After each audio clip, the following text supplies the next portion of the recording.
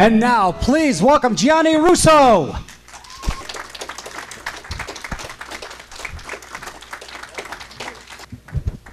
I've had one of these before. Good morning, everyone. How are you?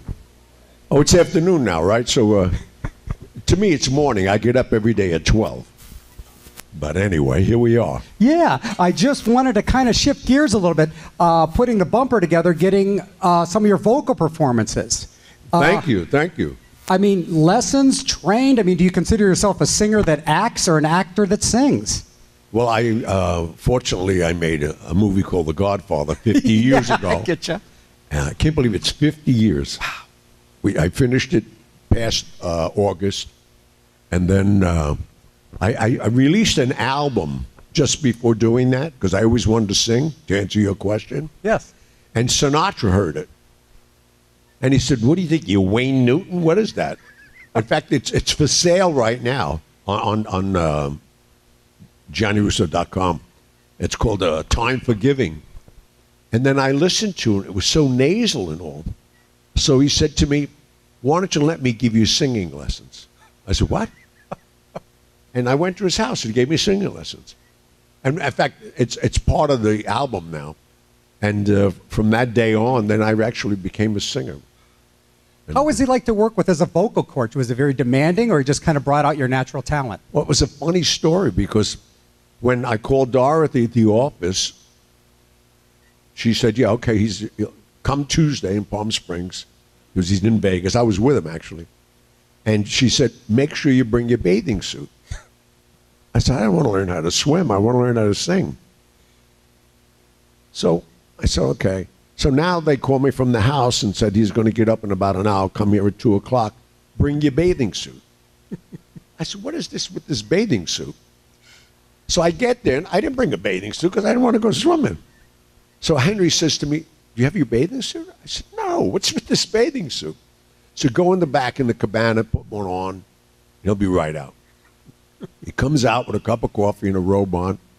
He's getting the pool. I said, What's with the pool? He said, Get in the you want me to teach you to sing? So I get in the pool, and he he says, Submerge yourself. And he times me. And I said, What are we doing? He says, To learn to sing, you have to expand your diaphragm and your lower diaphragm. It's all about breathing, which is true. I said, How'd you learn this? He said, He learned this from Tommy Dorsey when he used to sing with the big bands because the guy could sustain a note. He never knew what he was breathing. And that's the whole thing. I mean, even, even my speaking voice has been lowered from that because I'm speaking. I could talk to you all day and do this, and Yeah. nothing happened. If I was speaking from my voice, it would rattle. So that's what I did. And I became a singer, fortunately. I made a few dollars doing it, too. I'm still doing it, actually. A little, a little bit about the video, the one night only. What's the story behind that? Oh, that was at uh, Mohegan Sun. Uh-huh. It's from my book. I have a best-selling book out now, two and a half years, called Hollywood Godfather: My Life in the Movie and the Mob, and uh, they're making a ten-hour miniseries out of that now too. So that's uh, great. And Paramount right now, I don't know if you're aware of it, they have a, a, a ten-hour miniseries going on, and we were just looking at some of the shots. Mark and I of the kid that's playing me, which is interesting. that now I'm a character in a movie, so it's been a great run. And um, so it's been good. I mean, fortunately. When, when does that air? When do you think that comes out? Uh, it's coming out. A lot of things are coming out. March 14th, 2022 is the actual 50th anniversary when the movie was released. We wrapped 50 years ago this past August, which is, um, unfortunately, I've done 49 motion pictures since then. That won nine Oscars, and I produced 16 of them. so. so what do you do in your spare time? Uh, I, I, this is my clothing line, La Cosa Mia by Gianni. I'm writing three more books, fortunately. And I'm doing a rap album right now, which is insane. Really? I'm in the studios Mondays and, and uh, Thursdays, four hours a day with Sony. And I'm working with a guy I never, when he called me, I thought, who's this guy? His name is Arsenic. but he happens to be a multi platinum producer in rap. And he's producing it. So When, uh, you're working on that currently? Right now. Right now. It comes out, it drops midnight on Sony throughout the world. And it's Hollywood Godfather sings The Godfather. What what brings you more joy, the singing or the acting? I like just getting up in the morning. If I'm up, I'm, what do you want me to do? Sing? I don't care. This this Sunday, I'm actually here for my 79th birthday, Oh. December 12th, Congrats. and I feel you know blessed even saying I'm 79. When people just say, "Guy's 60," I say, he's an old man. That guy now. and uh, so my my life is a dream actually, and uh, I've been blessed because people like yourself and and inviting me at this convention. I've been traveling the world all my life, even before I became an actor. And, but now to get paid to do it, wow. Yeah, if you don't mind, before we go to questions, I just have been really wanting to, to ask you a few things. Just, uh, for example, like with The Godfather, I mean, what kind of acting training did you have? What was it like to work with some of the actors there? My wife, believe it or not, she never saw The Godfather before. I made her watch it last week. She became absolutely enamored. Well, you know, that's the good news about the film because even I, I'm fortunate. I have uh, nine sons, two daughters, ten grandsons. So I've been introducing this film. My oldest son is 56, and my grandson is like three months. So I keep, when they're 14, I sit them down and we can watch the movie together. But it's a movie that really stands up. It's absolutely. It, as you know, there's a lot of old movies. You, you know they're old, and it really doesn't hold your interest as much as this movie. I mean, again, to do a movie like that, I invested thirty-five thousand dollars when when they needed money, Wow. which has been ridiculous because we've done three and a half billion now in sales in seventy-three countries. Not that I got that, but Wow. I got a small piece anyway. But uh, oh, it's been a a great run, and I never thought the movie would even come out. To be honest with you? Well, they kept saying they're going to fire Francis. I mean, if you read, there's so many books. Friend, there's a book out right now. It's already a bestseller. It's it's called uh, "Take the Cannoli, uh, Leave the Gun, Take the Cannolis" by Mark Seal Okay. uh, great writer for Vanity Fair. But it, it's a, a film that, like I said, it just has such great legs and just keeps on going, fortunately. And um, so I've been blessed that way. And I'm blessed in every way. Kids, my life. I have all my hair. I mean, what am I doing here? I don't even know. So ba- back to acting, though. As, uh, what was it like working with the cast, and what kind of training did you have? I had no training at all, and, uh, and I, I almost lost the job because when they gave the first call sheet for you who are not in the business, you get one of these sheets under your hotel room every day telling you what time the car's going to pick you up, where you're going.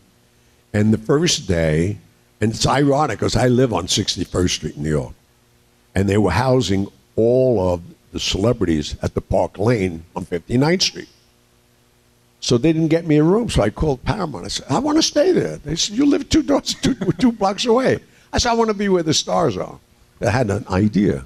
I already had a 65 Bentley driven by a Chinese chick, nice chick. In fact, I gave it to Marlon Brando. He took it Tahiti after the movie. but I just wanted to be a part of a movie star. I was 25. I wanted to get up every day and go out, you know. And uh, the first day on the set, and they said, you know, I, I never heard of Pacino. He did one movie, Panic in Needle Park. I just heard of Jimmy Caan because he had a great uh, TV show, Brian Piccolo, which was a big movie. And um, obviously Marlon Brando, Sterling Hayden, Richard Conte, they were all great actors. I knew them. So, and at the bottom of the call sheet, it said, no eye contact with Marlon Brando. Don't approach him. Don't talk to him. It's okay.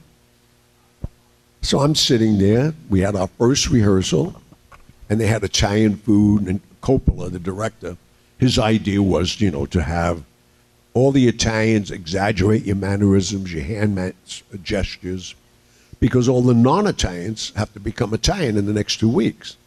Like nobody knows that, you know, Brando was Polish, Jimmy Caan was Jewish. They had to become Italian. So we did this for about a half hour, 45 minutes, and there's a break. And here comes Marlon Brando. comes walking over to me. I said, Well, I'm not doing anything wrong. So he says, uh, You're a big TV actor. I said, No. Oh, and let me stress this, which was really important. I was already wearing Brioni suits. Diane Keaton came with combat boots, dirty jeans. I mean, these these new actors, I like the old actors. You know, everybody dresses well. That's why you want to become a movie star. Today, they're in camouflage. When I meet Bobby De Niro, he comes in a disguise. I have to say, What are you wearing today? He's got a beard, glasses. He's nuts. Long story short, he says, You're a big TV actor. I said, No. He says, uh, You got a big movie coming out. I said, No. He said, Well, you're not on Broadway. I know everybody on Broadway. He says, Who'd you study with? I said, What are you talking about? Study what? And with this, he calls Coppola over. He says, He's playing my son Carlo. He says, Yeah. And, and Coppola wasn't happy with me at all because he couldn't fire me. He didn't hire me. I didn't. If you read my book, you find I they had a lot of problems with the labor in New York, and I straightened that out for them through my stepfather, who happened to be Frank Costello, who, control, who controlled all of New York and a lot of other places.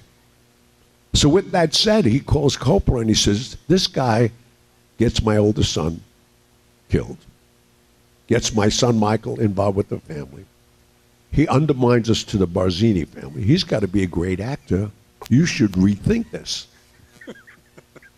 Now, I already told everybody I was in the movie, and everybody's, How are you in this movie? You're not an actor. And if I wasn't in this movie, I would never be able to go back to the neighborhood. They all thought I was lying. So I didn't know the protocol on, on a set. I dismissed the director. You can't dismiss the director, not even in rehearsal. I said, Francis, go over there a minute. Because I didn't want to embarrass him and, and Brando. And they said, you know, don't look at him. I put my arm around him because we were in Patsy's 119th Street, and there happened to be a Ziginette game up there all the time. And I used to bring overnight loans when they needed 5000 or 10000 for my father-in-law and, and bring it up to him. So I knew the place well. In the back room was a, a room that was not being occupied during the day. So I put my arm around Brando and I walk him back there, and everybody's like silent now because all these stars are sitting around the table, and they say, "Who is this guy?" And Brando's coming with me, so I get him out of earshot, and I said, "Let me just tell you something." And I'm cleaning this up for the ladies in the room. I said, "Let me tell you something. You screw this up for me. Listen to me. You screw this up to me, I will suck on your heart. If you get me fired, you're dead." he steps back and he said, That's brilliant. You could really act. He thought I was acting. I meant it. Was he nuts? I, at 25, forget about it. So he became my first acting teacher, Marlon Brando. Every day while Dick Smith was doing three hours, creating him as, you know, Marlon, I mean, uh, Don Corleone. I was in there running lines. In fact, the day I did the, my death scene, Yeah. which I think was the only scene I really acted in, the rest was all physical and fights. But when Pacino came in, and Brando said to me, You already know you're dying. You read the script. He says, How are you going to let the world know on a 36 inch, 36 foot screen? Because they know, and you got a close up on you. You have to be really good at this. I said, Well, make me good. But he was the one that taught me. He said, When Pacino hands you the ticket, what are you going to do with it? I said, I don't know. He said, I want you to sneak a look. It's like a security blanket where if you see the ticket, maybe you think you're not going to die because you know who these guys around you are killers. He went through all of that. So the day of shooting, it was just the people in that room, and Michael was the only other star there. And here comes Brando on the set. And, and, and as you're a cast member, you get a number. So when people hear the walkie talkies in parking lots, they don't hear people's names. So they say, What's number one? What's number one doing on the set? He's not on the call sheet today. And we all know that. And, and Brando said, I know I'm not working. I came here to help this kid. And he was there, spent the whole day with me. And Pacino, everybody was saying, Who are you? Why is this guy here? But that was my only acting teacher. My only singing teacher was Frank Sinatra. Wow. And the rest of it, I don't know anything. So I, before, before we get to your question, did they use a, any kind of stunt double for you uh, during any of this? they had a, a stunt double for the part of the fight scene only because of the union's law. But going through the windshield, that was the easiest scene for me because Clemenza pulled me up, and we all know the configuration of a car in the back seat. I just rested my back on the top of the seat and started kicking. How many takes? What did they do on that? Do you have Oh, any- we did a lot of takes because Francis, being the genius that he is, he had the camera mounted on the hood, Right. and uh, and he wanted that glass to break, and those old windshields had plastic in them. So then they just, they had they were ready for it. They had uh, lead and steel sole shoes made, and they scored the windows in the corner because we did it so many times. I was kicking and kicking and kicking. In fact, every once in a while, I still find glass in my shoes. It's crazy. I got, I got a question for you over here. What kind of fallout did you experience after filming The Godfather with such, you know, you were great, but such an unlikable character that got Sonny killed and, Oh my and God, yeah. turned against the family? What, you know, in, in your personal life, you know, did people recognize you on the street? What, what happened? Well, the first experience I had of being an actor and how people really believe things, I was in Chicago performing at the Blue Max Room. And after that movie, I was getting dates everywhere because Carlo from The Godfather, you know. and I'm walking down on Rush Street, and this lady yells from across the street. She said, Carlo. I'm saying, okay, yeah, I, you know. She comes running over and starts beating me with this handbag. And the police saw it, grabbed her, and they said, Mr. Russo, you want to press charges? I said, no. I said, what's the matter with you? And she started crying hysterical. Her husband beat her, and she had a miscarriage. And she never got over it. But talking about art imitating life, I mean, anytime you, people yell caller from that one, I went the other way. no, but it's funny how people, you know, think you're that character but it's crazy. The only the only person I still don't get along with, don't even like him, is Jimmy Caan. What a jerk! I mean, every other actor, this is the most pompous guy in the whole world. I can't believe it, and, and I say publicly all the time because why not be nice? First of all, we're lucky to be in the business. Be appreciative, and if you have an audience that wants to say hello to you, say hello to them. It's stupid, but. Um, that's the only bad experience I really had. And, and it was that. After that, then you, you learn, you know, uh, what do you want to talk to me about? Uh, Before we get to the questions from the audience, what was the premiere like? Oh, well, the premiere for me was, um, which is in my book, I, there was a warrant for my arrest. So I, they were waiting for me to come to New York. and I figured, so I, they had a room for me at, at the St. Regis Hotel where the, the big party was afterwards. And so I stood at the Warwick Hotel, and this is before 9 11. You can get on a plane as Mary Jane, they didn't care who you were. So I flew in that morning. Everybody's looking for me. I had the FBI, CIA, I mean, everybody. I mean, read the book, you'll know why. There was like 23 i- in, indictments for me. And um, my life has been very colorful, so that's why the book is called Hollywood Godfather: My Life in the Movie and the Mob. But um, but I wanted to go to the premiere, so I had my tuxedo on and a coat and all that, and I walked over to. I, I stayed at the Warwick because it's right on Sixth Avenue, so it was right between the Paramount and the St. Regis. So when all the people, you know, and uh, Army Archerd was on one sidewalk doing a live show, and Merv Griffin was broadcasting live on the other side, and there was thousands of people, and I wasn't going to miss this. So I come out of the crowd, and I and the, and the police see me. I said I'm supposed to be on the red carpet, and "Oh yeah, let him through." And ladies and gentlemen, Gianni Russo, and I'm seeing all the cops looking. Where is he? And I'm waving, and I knew they weren't going to stop that. They're filming it all. As soon as I get into the theater, I go right out the exit door, and I hide again. Then I go back to the St. Regis Hotel, which I wanted to be there because uh, Henry Kissinger was there. I mean, everybody was there. Ali MacGraw. I mean, every every major movie star. And Andy Williams sang "Speak Softly, Love" for the first time with lyrics. So it was. I wanted to be there. So I went took all kinds of pictures. And again, I went through the kitchen, out the door, and went to the airport. See you later. They couldn't catch me. Forget about that. They didn't ever catch me, actually. So it's. Um, well, there she is. How are you, my darling? She likes my shoes. This girl. Oh, those are. Oh my God, those are great shoes. Yeah, she. she uh, these are my, my shoes too. I make them in Spain. Uh, one of the brands is La Cosa Mia by Gianni.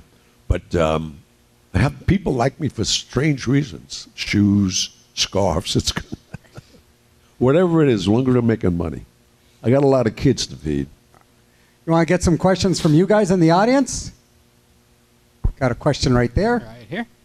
Once again, thanks for doing this. This is so great having you here. Oh no, thank you, thank you all for inviting me. I wanted to ask you about the movie you did, Lepke, with Tony Curtis. How was that experience? That was a great experience because um, that's a great question too.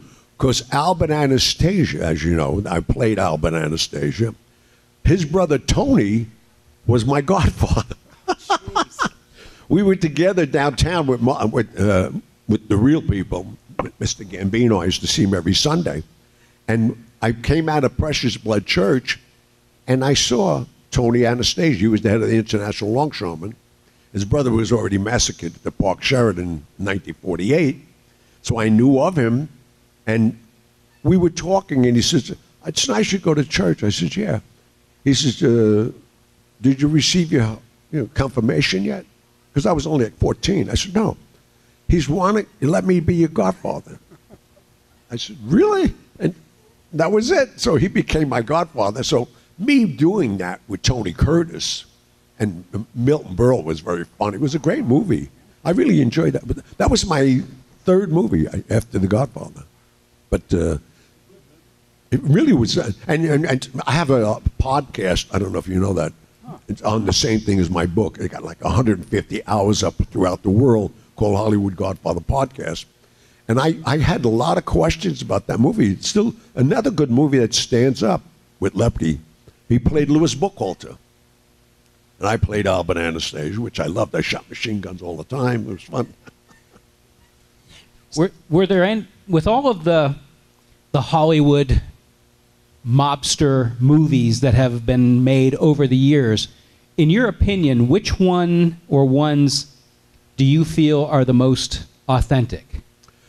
I, like the old ones with Cagney, you know, and George Raft and them.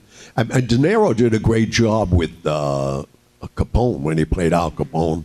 I mean, there's some good ones out there. And my one of my closest friends is, uh, you know, uh, Bronx Tale. So he's, uh, he, he, he- in fact, he's he's directing three of my ten. Nick Vallelonga, who wrote and won the Oscar for Green Book, he wrote all the hours, and uh, now he's given them to a George, uh, another guy, George Gallo, from Midnight Run and 29th Street. So I'm really happy to have these kind of people interested in my life and be directing. So, but we, you know, th- those those Bronx Tale was a great movie, and there's some good ones out there. But I mean, uh, selfishly, I think Godfather 2 was better than Godfather 1 because the trilogy and seeing chronologically how he became it was more im- impressed with me. So in Godfather 2, was that a flashback or was that new footage you did? No, the, I again not being an actor, uh, they and we didn't know the movie was even going to come out. Paramount was threatening to pull the plug, so I got more money for that one day than I did for the three months from the first one. But it was good. I'm going to take a, sip of water. While you're having a sip of water, I know that, you know, uh, Sinatra helped you sing and Brando helped you act. Who helped you write? Did you have any help with writing your, any of the books? Uh, as far, I'll, I'll let you let get your drink, Okay. and then. Uh, now, by the way, if you guys have any questions, I mean, we could talk to them all day, but we want to make sure we'll get you right after this. Uh, right Yeah, after anyway, I, I'm here. Where am I going? We're, we're sitting here. Let's talk. Anyway, um, what was the question? The question was who helped who helped you write? Who uh, you know who was some of your uh, influences and and uh, you like I'm saying, just I, I wrote this book in '95, and the reason I wrote it, and we're probably all going through it with our kids and grandchildren. All my kids are always facing down. They're not paying attention to nobody. They're on their pads or on their phones, and nobody's talking, nobody's socializing, and they really don't have an ambition. The last sentence in my book is "Yes, you can." The first, well, in 1949, I got polio and I was subject and confined to Bellevue Hospital for five years, which was a mental institution. And I was part of Jonas Salk's experiment for the Salk vaccine. So this is my second pandemic, fortunately. And I was a little leery, like most of us were. How did they get a vaccine in three months? This one took three years. So from that and just my experiences in life, and I wrote this book to get my kids motivated somehow. Mm-hmm. And the last sentence in the book is, "Yes, you can. If you read it, you can understand." I mean, I mean, I, I'm saying this publicly because it's in the book. The IRS, I had 23 federal indictments just for income tax evasion. And they said I, I, I made somehow $800 million, which I laundered through the Vatican. And I said, but where is the money? they keep getting mad at me. They can't do nothing now. The only reason I wrote the book, most of the things I did in my younger age, the statute of limitations are over. Okay. We got a question for you right here. oh, please.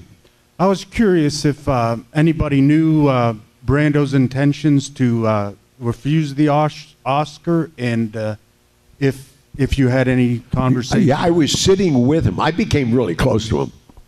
No, I, I became really close to the guy, and uh, in fact, I bought a house next to him and Jack Nicholson up on Mulholland, which was the biggest mistake I ever made. These guys, two or three o'clock in the, in the morning, think of nothing, blowing their horn in your driveway. we, I mean, I really, really liked him. And, and we became friends, as I said, and I really did give him this girl. And, uh, but Brando, to me, and, and, and, and those experiences were uh, amazing to me. You know, so it's, uh, how, do you, you know, even to, to say that Brando's my friend until he died. In fact, I remember vividly Michael Jackson in the summer calling me, screaming with his little high voice, We killed him! We killed him! I said, Who would I kill now? Because Elizabeth Taylor, Michael Jackson, and I convinced Marlon Brando to go get a bypass, stomach bypass.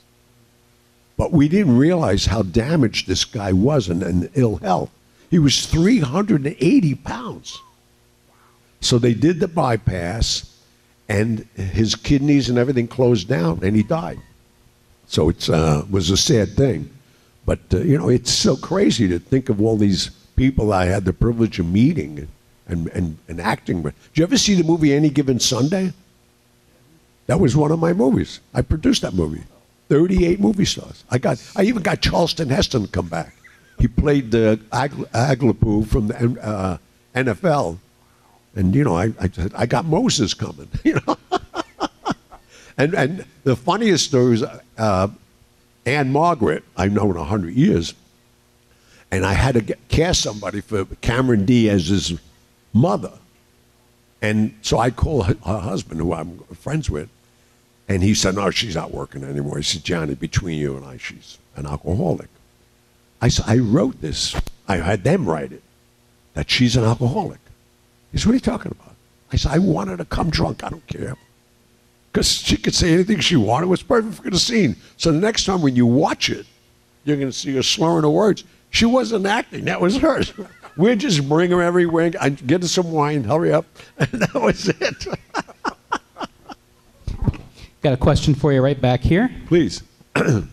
Oh, hi. As you know that the executives at Paramount were very leery about Coppola, bothering him about this and bothering him about that, what was your reaction? Did you feel, this guy knows what he's doing, we're going to be okay? Or what was your reaction to being directed by him, since obviously it came out that he was, they were nervous about hiring him for the job? Well, they, uh, that, you know, that was his second movie to direct. I mean, it was major, and nobody wanted him. Nobody wanted this guy to do it, but he never really directed anybody. He would talk to us, and he wanted us to be ourselves, which I think came out on the screen. People were really they got so into their characters that they looked believable. Like me, I'm not even an actor. And you know, I unfortunately I used to watch my father abuse my mother, which is the worst thing you could have to do as a kid. And I left my home, as I told you, six at six years of age, never went back. But I recall that. So I, I think the authenticity of everybody being who they're supposed to be, they really weren't acting. You know, it's. But uh, that's why the result of the film is so good. I think. Great question, though. Thank you. Got time for a few more questions? All right, any other ones? I got to ask you, how long did it take you to write the book? Oh, you, I never ne- mentioned You never the guy. answered that. I'm That's sorry. why I kind of went back a little bit. Oh and yeah, tried to lead please. back yeah. in. In fact, I'm having dinner with him tonight. Oh. I, wa- I wrote the book, and, and Frank Weimann of the literary group, now the Folio Group, is probably the best writing agent in the world. And he came to me, and he said, uh, "We have a request for you to write a book." I said, "From who?" And they gave me the you know, the publishing house. I said, "Okay." I said, "I don't write. I I, I went to school. I mean, I'm a literate. I'm, I'm, it's funny, but uh, I write phonetically. People around me know what when I send them something. I'm happy with the smartphone now. Everybody thinks I went to school now because it's all the do my correct spelling. I'm writing letters to people now. But um, so you know, I just wrote the book, and then they a, a, Dan Moldea, great author, had a book out about Clinton during that time, and he approached me. Gay Talese, Nick Pileggi. These are all the people who are going to write with me. And I said, I don't want to mean any disrespect to any of you. I said, but I need you to. Who's Gianni Russo to you? You're going to write my life. They said, what you talking about? I said, can you write a small synopsis of who Gianni Russo is? And Dan Moldea walked out of the room. He, he was so insulted. I'm Dan Moldea. I said, great. But what do you know about Gianni Russo? You're going to write my life story. A, a cop from my neighborhood on Mott Street. He's about five or six years younger than me. He gets on the job. I knew his father. He had a bar where everybody hung out. He gets to be a, a detective in organized crime. And the last 10 years of his life, his goal was to arrest me. He always thought I was doing something wrong. He was right in a way, but I not he was going to catch me. So he became he he works at the university out here. He lives out here. He retired. He teaches writing at one of the universities. Pat Picciarelli. He's on the book, and we're writing three more books right now. Together, we got a, a deal. I, I turned them down. I said, I don't want to write another book. So they said, we'll give you this amount of money. I said, maybe I'll write another book. And then my, my agent said, we want a two book deal. I said, yeah, we want a two book deal. Now I got a three book deal. So you're going to ha- hear more of Hollywood Godfather 2, 3, and 4, and it's going to be fun. That's awesome. Congratulations. I mean, uh, do you write in the morning? Do you write when it suits you? Do you, I mean, I- the I- writing is more disciplined, I think, than anything. I, I mentioned that Pat lived out here. I thought it was in a witness protection program. Where he lives, I don't even know where it is. It's like eight hours to get there. And when I told him I was coming, he was so enamored because he, I haven't seen him since two years ago when we had the book signing in New York. We write on the phone. I can't write. He records everything I say, and then he goes into story form, which you know, I can't even take say I write. I dictate a book. Oh, no, you're going to be heading back to your table now and do some more signatures and Oh, yeah, photo ops and all of that. I'll be here till Sunday. it is so awesome to have you here. Can't No. thank you enough. No, Do we have a- thank you. Do we have a last minute question before he goes, though? Last minute question? If not, you can ask him at his table. I'm sure Mr. Russo has plenty of stories to tell. Oh my God, thank God. And thank you all. I really appreciate the attention. And God bless you all. And Merry Christmas. Yes, back at you. congratulations. Thank you for being here. And give it up for Gianni Russo. Hi, this is Michael Shanks, and you're watching Fandom Spotlite. Be sure to like, share, and subscribe. The fate of the universe may depend on it. And have fun and follow your fandom.